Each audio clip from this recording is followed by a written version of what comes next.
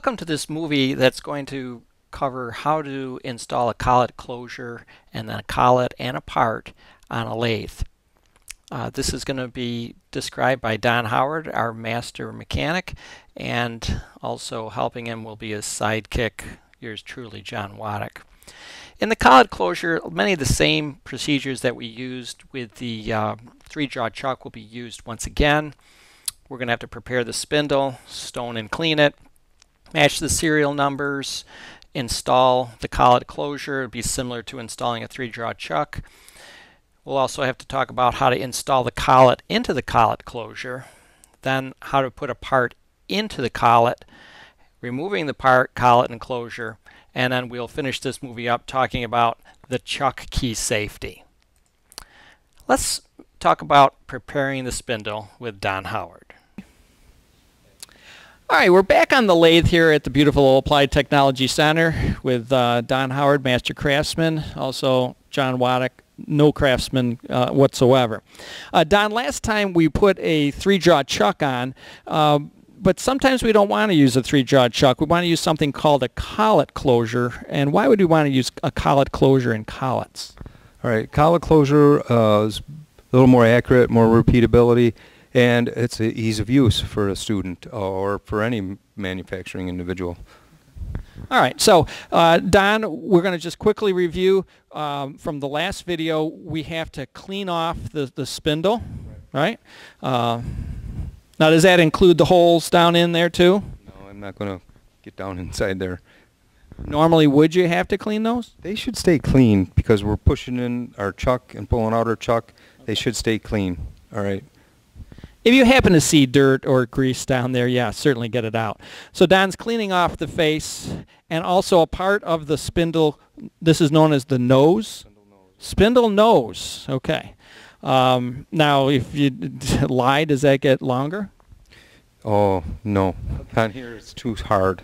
okay. All right. So, well, in any case, don't lie to your instructor in, in any event. So Don's cleaning that up because just like a chuck, the collet closure is going to have to seat really nice. He cleaned it up last time. He stoned it. John, Don, if you just want to quickly show us what the stone, if there's any uh, chips that are embedded on there or the surface is marred somewhat, we're going to lightly stone. Uh, like Don said before, we are not trying to take any material off, just trying to smooth off the surface. Now, after you do a little bit of stoning, uh, this machine will then become stoned. Uh, alcohol related. Okay. Okay. All right, but it's nice and clean and shiny. I, I, I could eat my dinner off of that. I couldn't fit it there, but all right. So we've gone over this before, uh, Jason. This uh, this machine has a serial number, and it's going to have a matched collet. This is machine 139. So uh, Don got the piece of wood uh, that we've used before. That's going to support probably the collet. We come over to the table where 139 is. Don, this doesn't seem as heavy. And it now this has the 139 and it has a nice arrow. Can you see that, Jason? You can move your finger a little bit, Don. There you go. Now I can see that arrow, okay? Now, Don, we have to also check the cleanliness of this unit.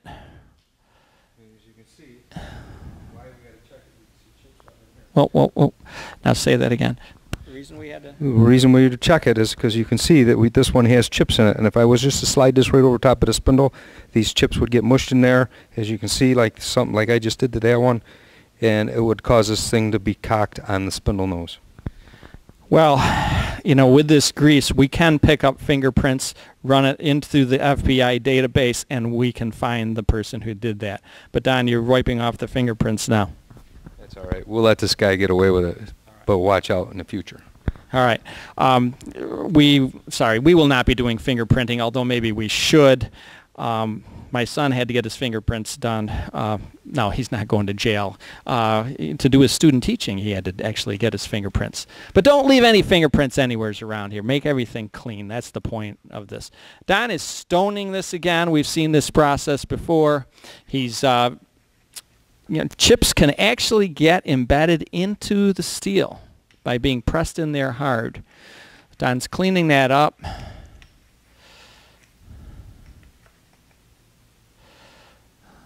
The other thing, if you leave these machines uh, dirty all the time, um, remember this is, well, upcoming as the fall semester, Santa Claus is going to find out that you have been naughty. You're not going to get any treats.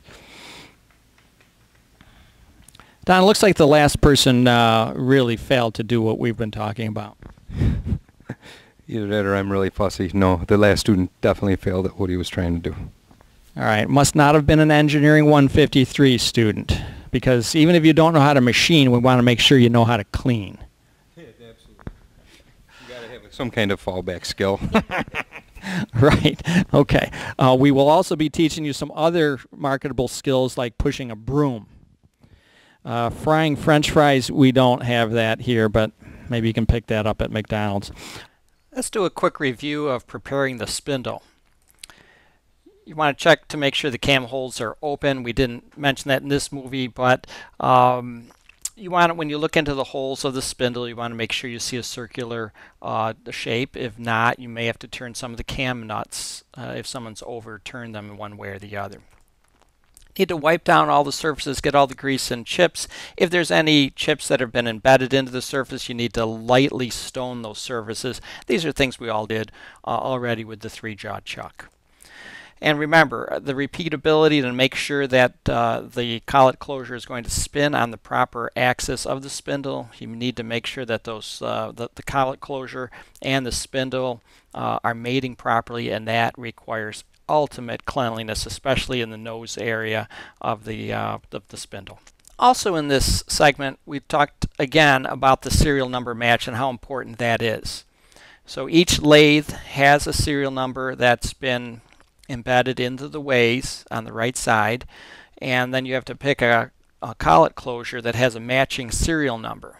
And remember, at the Applied Technology Center, only the last three numbers of the serial number are used for identification. Remember, each collet closure is customized for a given lathe. You don't want to miss and match these things because you won't get the proper um, you not get the proper repeatability and the, the machine is not going to work as intended. So next we're going to look at installing the collet closure. All right, Don, you're lining up the arrows with the 139 arrow on collet closure and arrow on spindle. So this thing Don's putting on there is called the collet closure. Now you're just pushing that up, snug. Now he's just snugging these down. And remember, he started at 139, so when he gets back to 139, he knows now notice Don is not cranking on this first one. He's just trying to make them all even. He's trying to get the collet closure to seat evenly. All right, now he's back to 139. Don is now cranking it. He's putting some muscle behind this. Uh, Don was uh, once a candidate, or could have been a candidate for world's strongest man. Okay, um, you know when he farted. Whoa, okay. Uh, strongest, strongest odor. Uh, okay, so he's cranked that down. He's gotten back to 139. He knows he's done it all. He's moved the wood away. He's put the chuck key back. Hey, remember, folks, I'm going to say this again. Chuck key goes in two spots, in your hand or in its holder.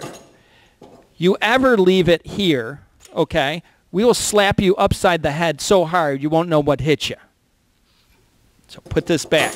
Do never leave it in here. Never. All right.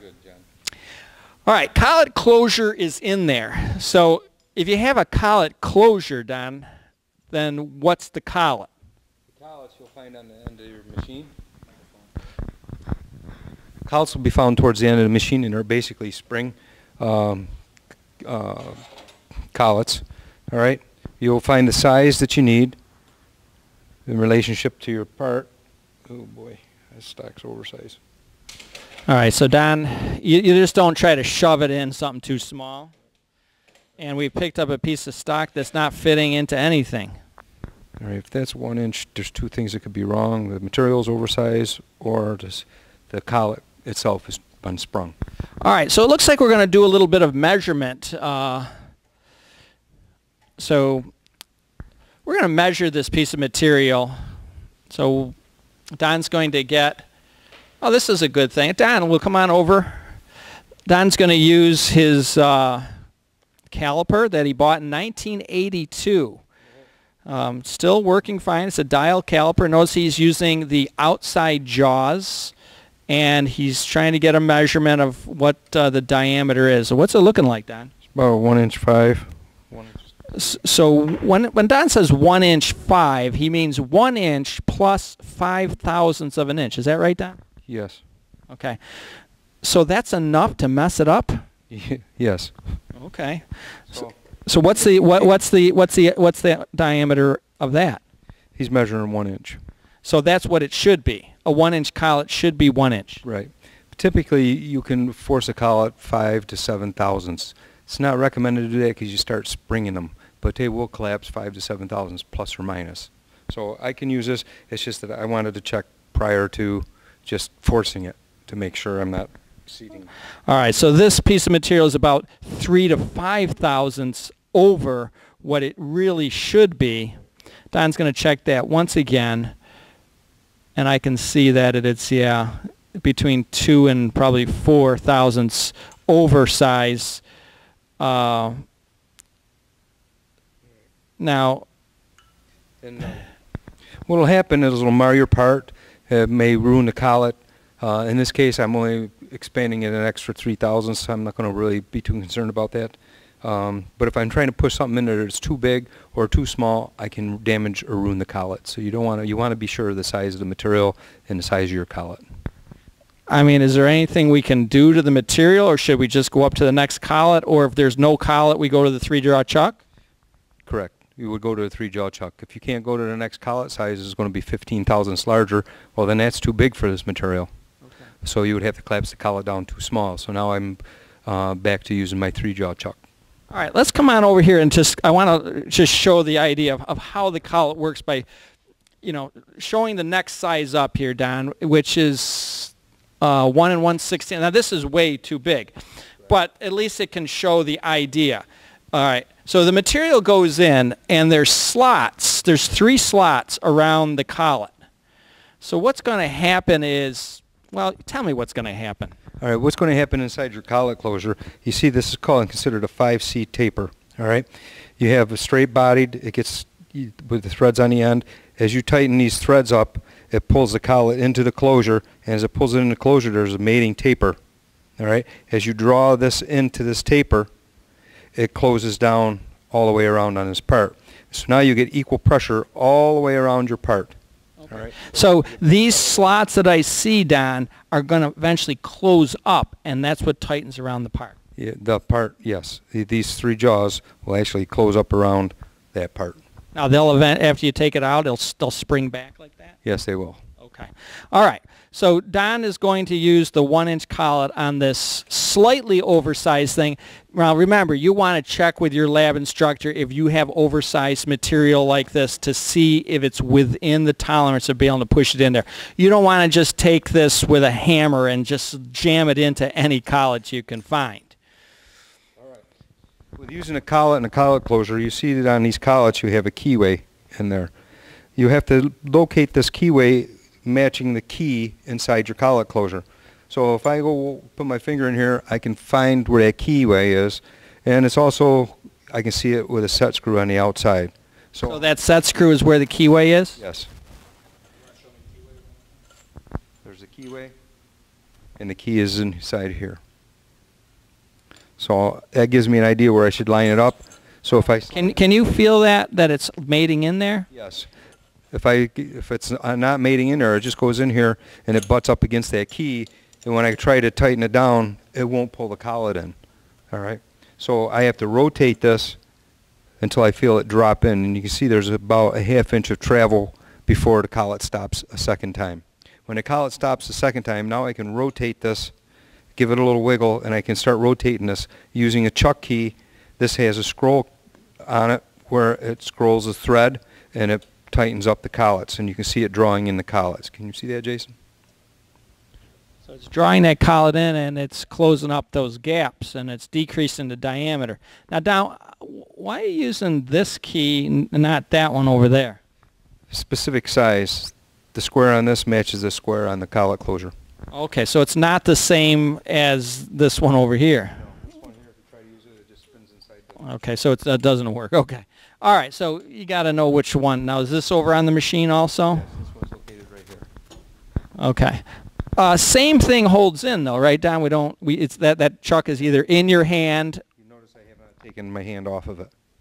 All right, because even I can forget. I can get distracted. All it takes is a distraction. Your buddies call you, uh, hey, got a question for you, and you turn, you walk away, and you, you forget you did it. You come back over, and you flick the switch, and it, you turn it on. Um, I speak from experience. I've been in the shop. I've had chuck keys flying out of chucks, and it's not pretty. All right, so chuck key. Uh, so now, Don, you're kind of tightening up the the collet closure, and you're pushing uh, the material into the collet. Correct. Now, the same thing hold. How much of, of this material of this of the stock that we're going to be machining? How much should that be inside the collet? Um, trick question. Well, would we say a, a minimum of something? Oh, you're going to have to have at least a quarter of an inch in there. Wow, that's all. It depends on what I'm doing. Let's say. question. okay. How All much material can I have extending out from my be all right. So you need to have at least a quarter inch in there, maybe a little more. Does it hurt to have a little more? no, Okay. the more the merrier. All right. So you, you get in there. Your instructor in lab is going to instruct you how much. Once again, you don't want more than five times the diameter of the material ever sticking out of a collet or out of a three-jaw chuck.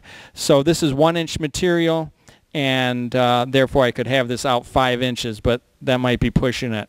All right, back to the minimums. You, just use your your common sense, if you have any. That if I'm only holding on a quarter inch of material and I'm sticking out at five inches, I stand a very good chance that if I touch the end of that five inch piece sticking out, that I'm going to rip that out of that collet. All right. So you got to use some of your common sense.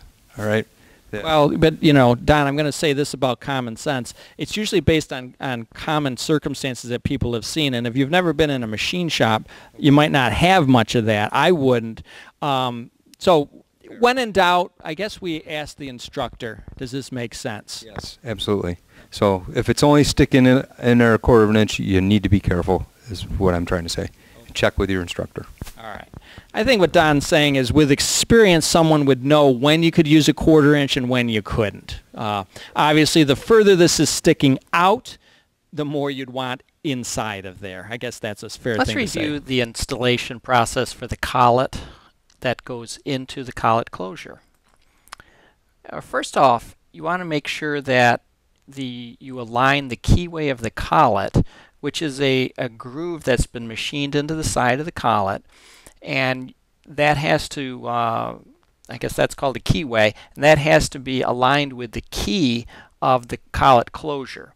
So uh, now, how do you know if that's how those are aligned? Well, one way uh, is you can put your finger in and feel where the uh, the key is inside of the collet closure, or you could just look at where the set screw is on the collet closure and know that that's where the key is, and that's where you'd want to align your keyway for the collet.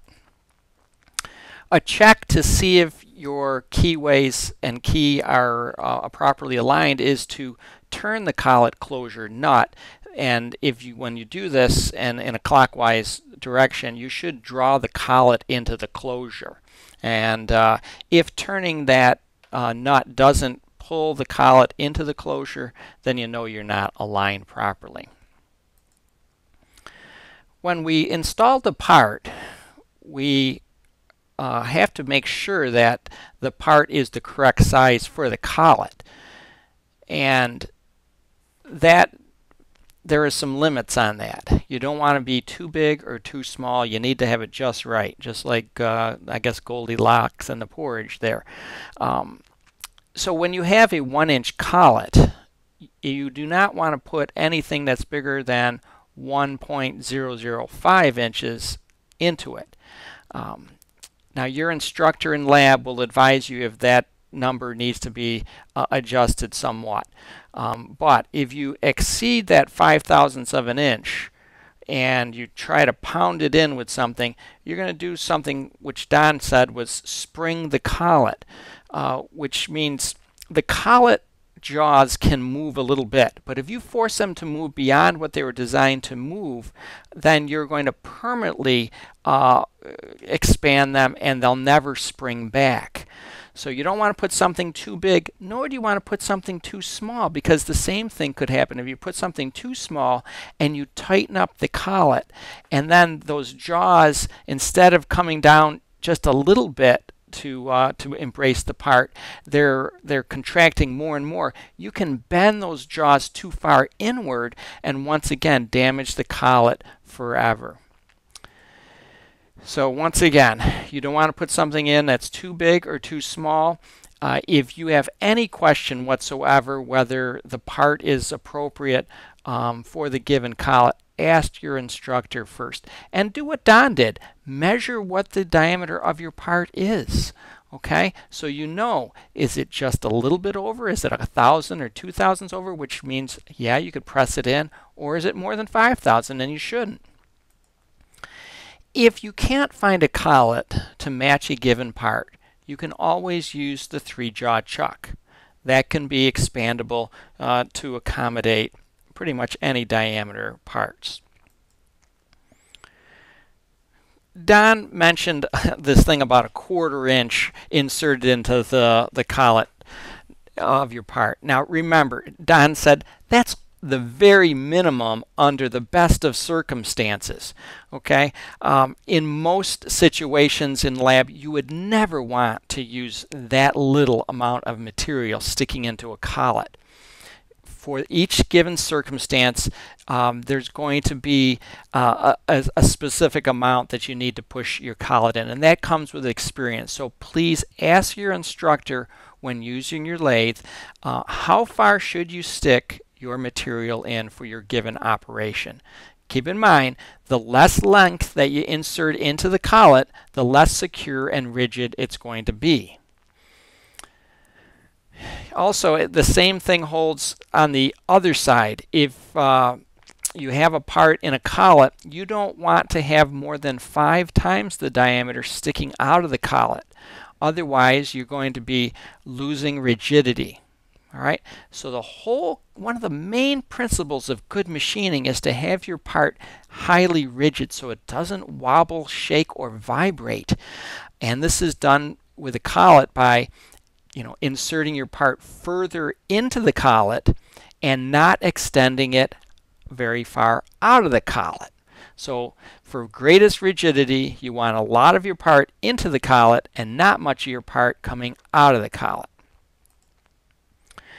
The last step is once your part is uh, into the collet, the proper distance, then you tighten the collet closure nut. And we reminded you again, uh, you're never to leave a chuck key uh, into the collet closure or ever into a spindle. All right, next we're going to look at the steps for removing the part and then removing the collet and then eventually removing the collet closure as well. All right. All right. We've got uh, the thing tightened up in there and we're ready to roll. Uh, now, uh, just taking this out now, Don. Yeah. Can we reverse the process? Can I just reverse the, the movie or should we actually do it? Yeah, we can do it. okay. All right. Um, don't do we have to put that wood under there? Taking the part out first. Oh, taking the part out first. All right. Before I can remove the collet closure, uh, I'm going to take my part out. I'm going to remove the part. Basically, I'm going to rotate the uh, screw clamp uh, opposite direction, ro counterclockwise, and then I'll remove my piece.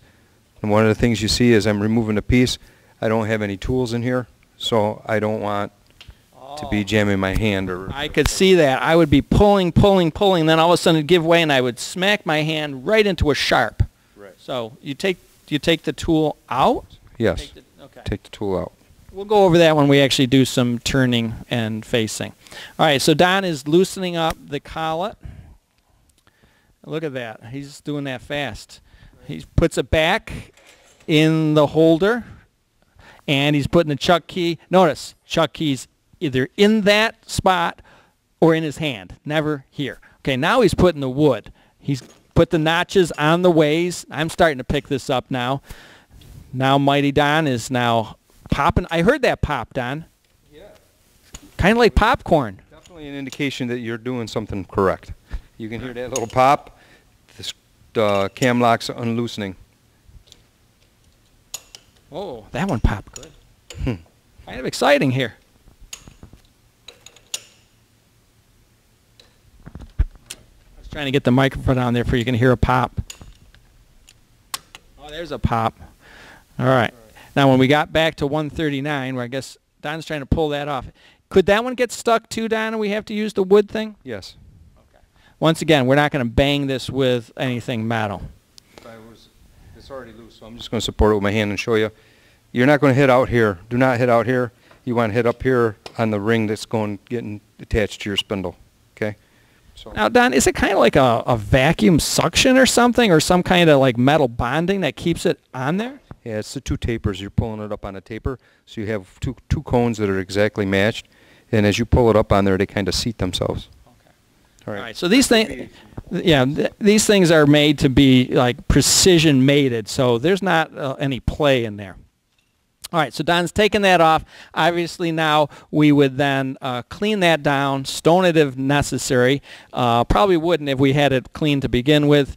But chips can possibly get there down there. Um, and then we would clean the collet closure as well, and then replace it out onto the table with the 139. All right, that's how you put something in with a collet. Now let's review removing a part and a collet. And then we'll eventually look at removing the collet closure itself. First off, you know, this is obviously after you turn the spindle off, you want to remove the cutting tool. Remember, that's an extremely sharp thing. If you're pulling on your part to get out of a collet and your hand slips or something, you can go forcefully into the cutting tool and get uh, badly cut. So remove all cutting tools first before removing a part. Next, you want to loosen the nut on the collet closure in the counterclockwise direction. This will allow the collet to start working its way out of the collet closure. Now when it's loosened up a little bit and the collet is still in the closure, you want to pull on your part while gently turning on it. So it's pulling and turning to, uh, to work the part out. Once the part is out, then you can fully loosen the collet and remove the collet from the closure as well. Now, after the part and the collet is out, we're going to then remove the whole closure, okay, which is um, seated and mated to the spindle of the lathe. So first thing is you're going to put that wooden block that has been shown uh, on the ways because if that collet closure were to fall, you don't want it to fall onto the ways and damage that. And then after you do that, you want to loosen the nuts on the collet closure. I think Don has called these the cam locks and when you turn those counterclockwise you should hear them pop. Once they pop you stop turning. If you turn too far uh, then you're going to start tightening it back up. And like I said you're going to you know you hear the popping sound. If after they all pop all those cam nuts pop and the collet closure is still stuck and doesn't come off you want to hold the collet closure with one hand and gently tap uh, on the, the collet closure up at the surface that where the collet closure is mating with the uh, the spindle okay you do not want to hit a collet closure down on its end or its nose okay this could damage the collet closure and potentially even the uh, spindle of the lathe all right, once uh, the collet closure is loosened, then you can carefully pull it away from the spindle. You're then going to wipe down all the surfaces of the collet closure inside and out and also uh, clean up the spindle of the, uh, the lathe as well. Remember, Engineering 153 students want to be known as meticulous uh, fabricators. We don't ever want to leave anything sloppy. You are professionals, so please act the role. Now lastly, the chuck key. I'm going to just say this again because it's so important because our, our biggest injury we've ever had in the 15 years we've been over at the Applied Technology Center for Engineering has been a chuck key uh, injury. So remember, the whole idea you never leave a chuck key in the spindle. Your hand, if, if that key is in the spindle, your hand must be on it. And the same rules apply if you're talking about a chuck key that's in the collet closure. Remember, chuck key must either be you know, in your hand or in the wooden tool holder at the top of the lathe. Leaving a chuck key in a spindle or a closure can be very dangerous. It can strike someone's hand. It can be thrown as a dangerous projectile across the room. Uh, please do not do that. Um, chuck keys have to be in your hand or in the tool holder always. We want you to be safe because we love you. All right, that's it for installing and uninstalling a collet closure. Let's look at the questions. Number one, describe the proper process for snugging and tightening the cam nuts on the spindle in order to install a collet closure. Okay, there was a couple operations that Dan, uh, that Don did. The snug, snug one was snugging, one was tightening. So describe them. Number two, how much how must a collet be aligned when it's when it's inserted properly uh, into a collet closure? How can the operator determine if the collet and the closure are properly aligned?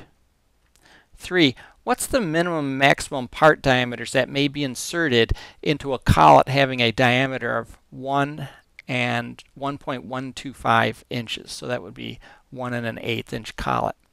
What should be done if a part doesn't properly fit into a collet? 4. How is the rigidity of the part affected by changes in the following parameters? A change in the length of the amount of the part inserted into the collet, and B, a change in the length of the part that extends out of the collet.